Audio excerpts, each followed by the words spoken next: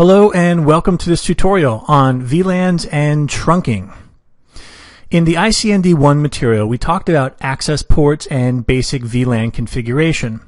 And you might remember we said a port in a VLAN is either an access port or it's a trunk port.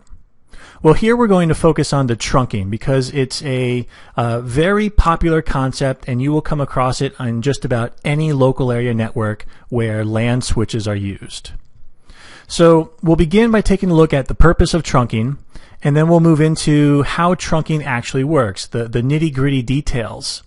And we'll finish our discussion by looking at two methods that we can use to actually implement trunking on Cisco switches. Okay, so let's go ahead and get started. So why do we want to use trunking? Really, what's the purpose of trunking? Well, if you recall, an access port can belong to a single VLAN at a time. No more, no less. Only one VLAN is allowed on an access port. So let's say we have these two switches and we want to connect them because I want to go ahead and I want to create VLAN number one over on that switch as well.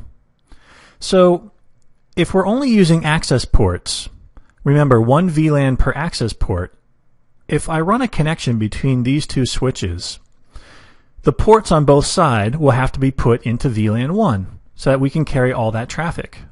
Well, that's great. We've accomplished our goal of connecting the switches and now VLAN 1 is, is united on both switches. But what about all the other VLANs? Let's say I go ahead and I now configure VLAN 2 over here because I'm having more and more users and I need to I need to utilize all the switch ports that I can.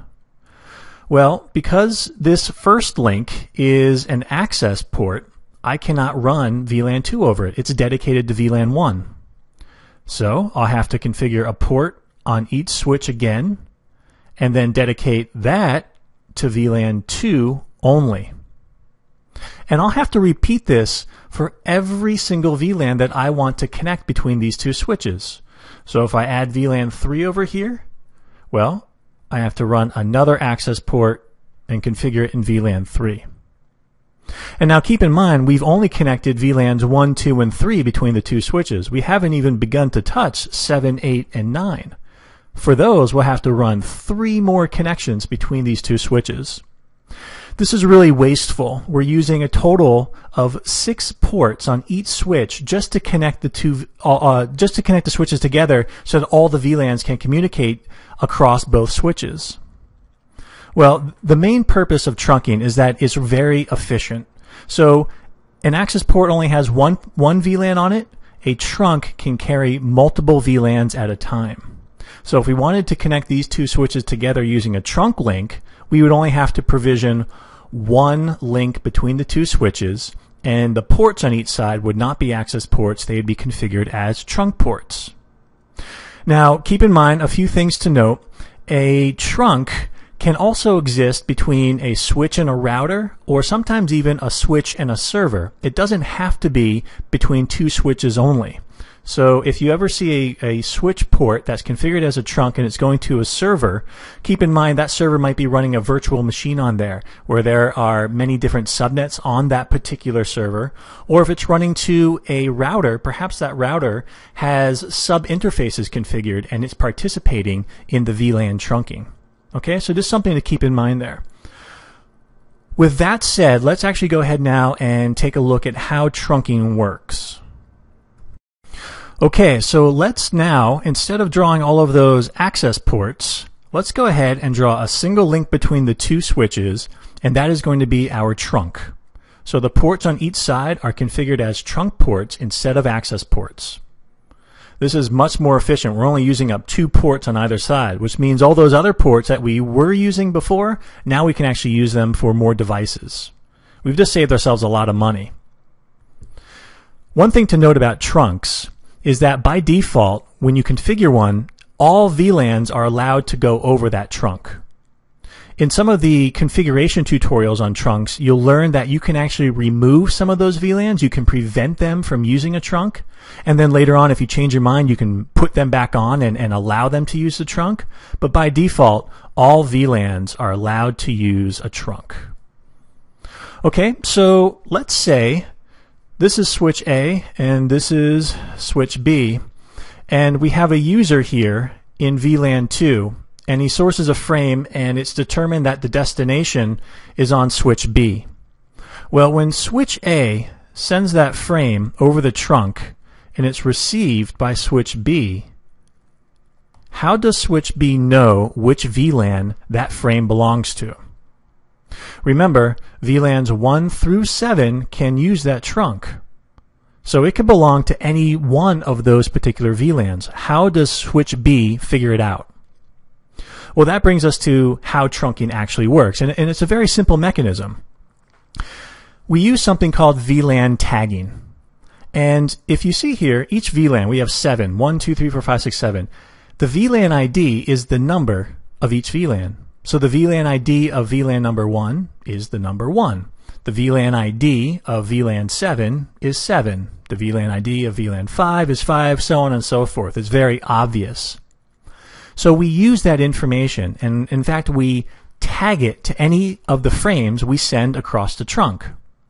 So here, before switch A sends that frame, and this is the Ethernet frame, it's going to add a little bit of extra information to the frame, and inside there, it's going to put the VLAN ID and attach it to the frame. And then it sends it on its way to switch B.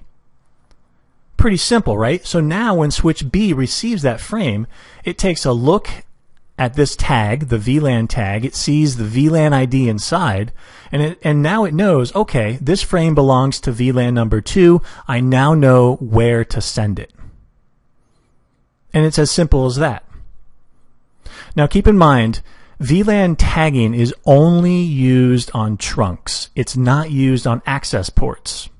So if our destination is over here hanging off of an access port, when that frame is sent over that port, this tagging information is not on it. And it kind of makes sense, right? Because an access port can only belong to a single VLAN, so it doesn't need this identification because any frame going over it is assumed to be in that single VLAN. Okay, so you will not find VLAN tags on access ports. And that's it really. That is how simple VLAN tagging is, and that is the whole uh, mechanism behind trunking and how trunking works. We add information to each frame, and now everything that traverses this trunk can be easily identified by both switches A and B. So now that we know how it works, let's take a look at two ways of actually implementing VLAN trunking. So we have two methods of implementing VLAN tagging. The first one is known as ISL, and that stands for Inter-Switch Link. Now this is a Cisco proprietary method, meaning it only works on Cisco devices. And the way it works is it actually fully encapsulates the Ethernet frame in order to add the VLAN ID information. So if we start with the original Ethernet frame, ISL adds a special header and a special footer. Inside the header is where the VLAN tag will live. The CRC, the footer, that stands for cyclical redundancy check. That's just a way to uh, check for errors when the frame is received. Okay, so ISL adds a header and a footer to the frame, the original Ethernet frame. That's the first method. The second method is known as 802.1q. And this is an I3E standard, meaning it can work on Cisco equipment and non-Cisco equipment. It's, a, it's an open standard. And 802.1q is a lot more popular than ISL, even though ISL was created before it. In fact, in some ways, it seems like Cisco is moving away from ISL itself because there are even Cisco switches now that no longer support ISL. So it seems like everyone has adopted or is in the process of fully adopting 802.1q.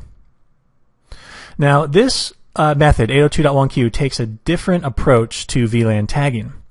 If we look at our Ethernet frame again, but this time in a bit more detail, so whereas up here we didn't show the header and the frame check sequence, here we see it all. The 802.1q method will go ahead and it won't add anything in terms of a new header or a new footer.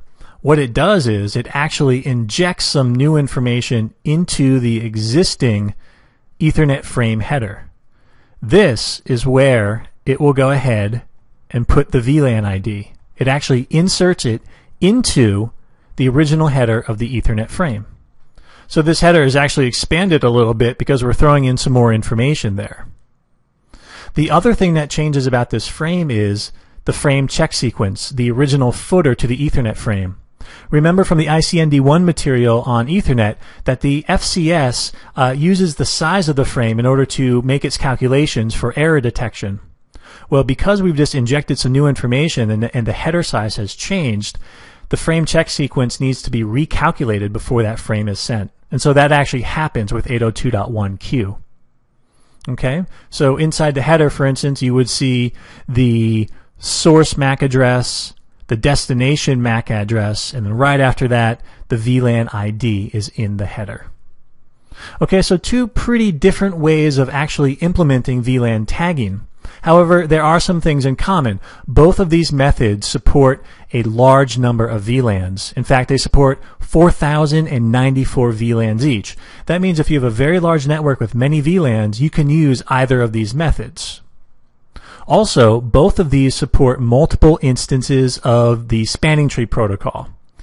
If you haven't yet seen that tutorial on STP, after watching it, you'll understand how running multiple instances gives you a lot more flexibility and performance enhancements. So that's a very good characteristic that both uh, methods support. Now, aside from the differences uh, that we talked about in terms of actually implementing the tagging itself, there's one other big difference between these two methods, and that's known as the use of the native VLAN. You might have heard about the native VLAN before, and it's a little bit of a, it's, it's slightly a confusing topic, so we'll cover it here so that you know about it going forward. On one hand, it's very simple. 802.1q uses the concept of the native VLAN, and ISL does not use it. So right off the bat, one does and one doesn't. That's the simple part. Let's now actually take a closer look at, at uh, native VLAN to, to really explain it.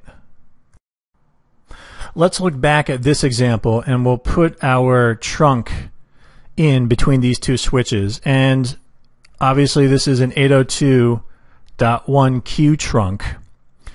Well, as we know, all of the frames will be tagged with the VLAN ID. That's how 802.1q works. But let's say switch B cannot support 802.1q. Or switch A is connected to a server. Let's say that it's a virtual machine. There are a bunch of different uh, servers running on there, and that server cannot support 802.1q. Are we completely out of luck? Uh, will these even function? And, and the answer is yes, they will actually function, and we are in luck because that's the great thing about native VLAN in 802.1q.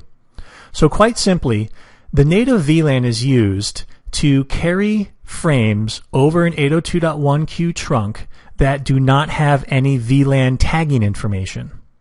So if this server cannot tag anything, at the very least, it can still send and receive frames that are not tagged and they are transported in the native VLAN. So what does that mean? All it means is that if switch A receives a frame and there's no VLAN tagging information on it, it just assumes, okay, that frame belongs to the native VLAN. Now at least I know where to put that frame. That's it. So at least we get some basic functionality there. Now here's where it gets a little bit confusing. By default, the VLAN ID of the native VLAN is VLAN 1. So VLAN 1 is by default the native VLAN for 802.1q trunks. You don't have to use VLAN 1. And in fact, there are many best practices which state you should change it from VLAN 1. So you can configure which VLAN you want to use as your native VLAN on a particular trunk. The catch is both sides have to be configured the same. So if you change the native VLAN to 5 on this side, then you have to change it to 5 on that side as well.